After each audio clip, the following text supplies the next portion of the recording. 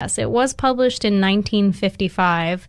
Um, it was turned down by Viking, Simon and Schuster, New Directions, Farrar, Straus, Doubleday. Um, a lot of warnings about getting this published, but he ended up going to France. He met with um, publisher Maurice Girodias of the Olympia Press. He was not too happy about the book. He wanted him to do it under a different name. Um, but after a lot of uh, uh, fighting, they went ahead, they published it, and he did it in his own name, Vladimir Nabokov.